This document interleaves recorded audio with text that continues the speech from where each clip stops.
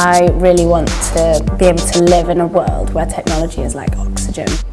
It's obviously vitally important and it's ubiquitous, it's everywhere, but you don't ever see it and you don't ever think about it. It's just there and it works and it helps you. I hate when it starts to affect my social relationships and my interactions with people.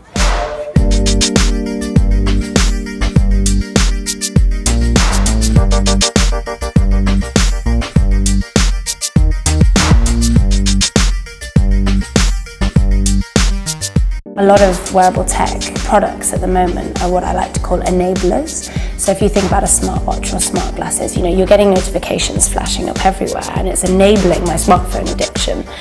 And when I was working as a management consultant, I kind of realized actually I want to be able to step away, you know, I want to be able to switch off. I want to have certain points in the day where I can disconnect. I'm all for living a digitally connected lifestyle provided I'm given the option to tone down my level of connectedness at certain points in the day.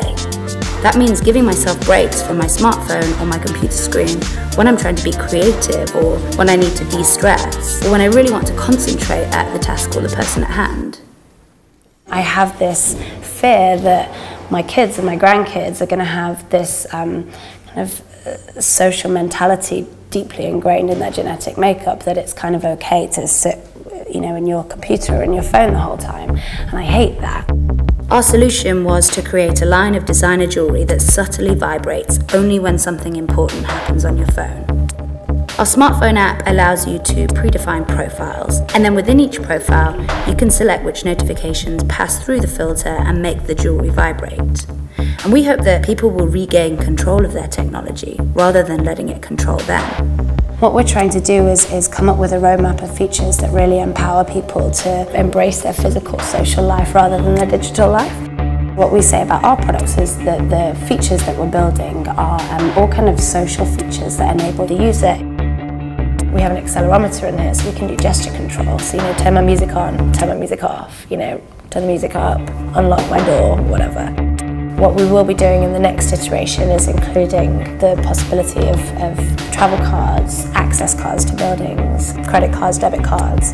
So we talk about kind of resetting this balance between physical and digital and empowering people to take a step away from their smartphone.